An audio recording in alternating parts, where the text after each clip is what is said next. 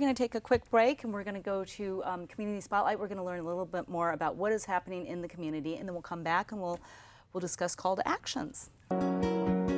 Caterpillar in the tree,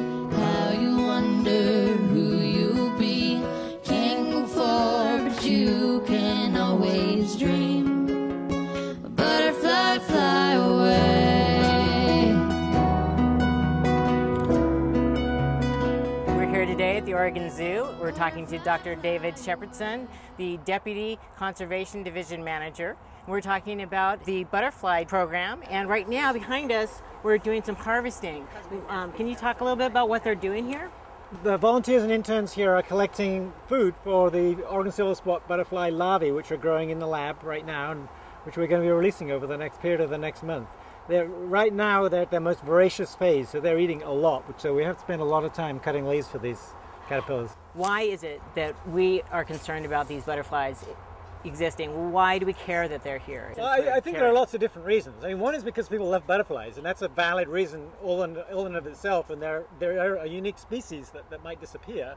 Uh, they do have a role as pollinators. Uh, they're not the only pollinator, but they are a significant pollinator in the areas that they live. But I think maybe the most important thing to understand with the butterflies is that um, butterflies are very sensitive indicators of a whole habitat. So it's not just the species. So if you can restore the habitat to bring the butterflies back, um, you can be fairly sure that you've restored a lot of health to that habitat and all the other species, some of which may not even be known to science, but they're all benefited by this habitat restoration. So that indicator species role, I think, is important. And then you can ask, why do we want the habitat? Well, there's also reasons why, why we want the habitat other than just um, liking it. But ultimately, they, most of them provide us with something. You know, we get our clean water, we get our clean air, uh, we get a lot of services from the environment. And we have to be pretty careful at this point in time when we're, where we're, where we're de destroying so many habitats that we don't actually destroy the things that we need. The caterpillars will only eat one plant, the host plant, and that's the Pacific Coast Violet. But the numbers of the Pacific Coast Violet are declining along the coast because Pacific Coast Violet grows on coastal prairie. Okay. And coastal prairie is a very scarce commodity now. It used to be fairly common. The habitat restoration involves bringing back those coastal prairies and increasing the frequency thereby of the, um, of the violets that the, the caterpillars eat, but also all the other components of that habitat. Here we are back at the lab. This is Mary Jo Anderson. She's the head keeper of butterflies here at the Oregon Zoo. We've just collected some leaves from the violets, and it's lunchtime. We've got the food. It's definitely lunchtime. This is a special lab that we have set up just to raise thousands and thousands of caterpillars for release back into the wild. And they look like they're hungry. They're really hungry. Uh, the, the children's story, Hungry Hungry Caterpillar, is exactly right. It takes thousands of thousands of leaves to feed these caterpillars. And a whole army of interns to, to feed them, I understand. Exactly. We have high school and college students and even adult interns that all help us with raising these animals.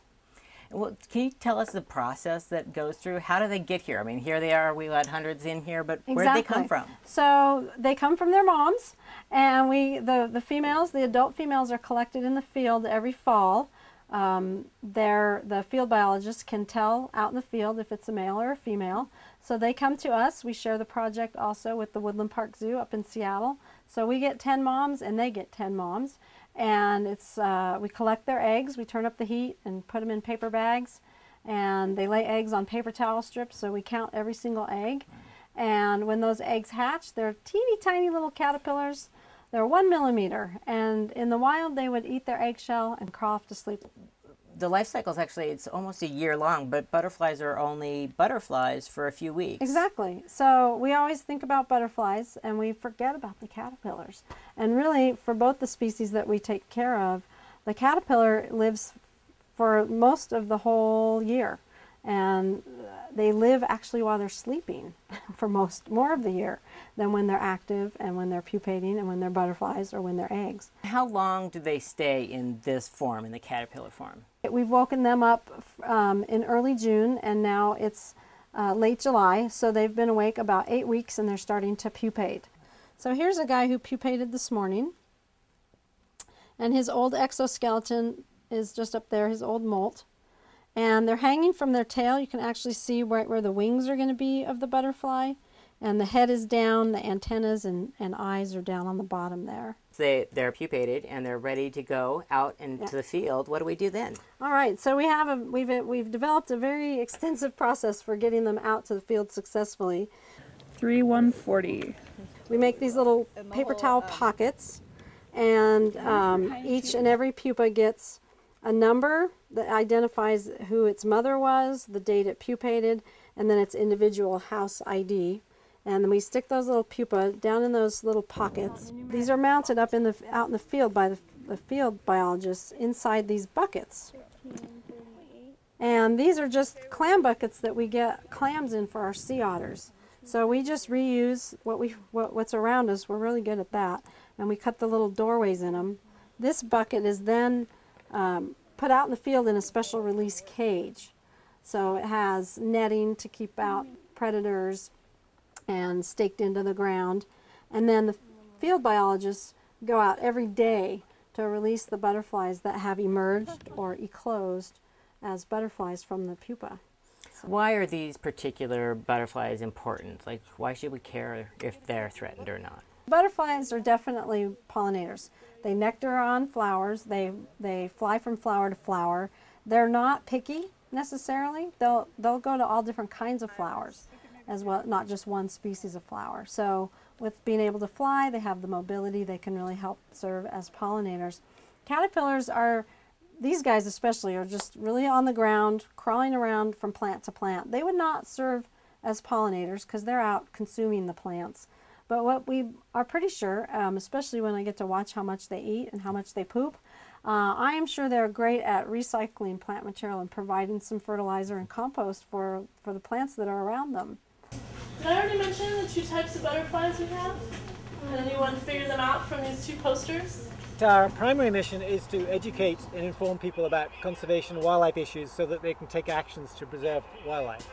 Uh, and we have 1.6 million visitors a year, so we have a huge audience that we can tell that story to. We don't have these butterflies on exhibit, so um, so that's a problem getting the message out. So what we try and do is uh, we have um, uh, three or four hundred uh, kids come to camp every week throughout the summer, so we try and get as many of those camps to come through our butterfly lab and actually talk to the people who are raising the butterflies as possible.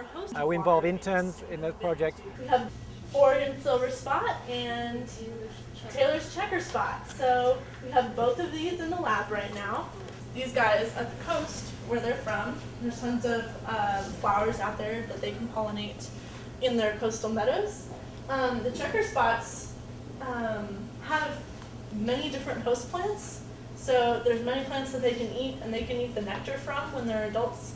So one of those important flowers is the Indian paintbrush, which is really difficult to cultivate, but it's also really common in Oregon and Washington. So um, they drink the nectar from that flower a ton. When we have adults here in the lab, they eat the nectar from all sorts of flowers that we pull off of zoo grounds.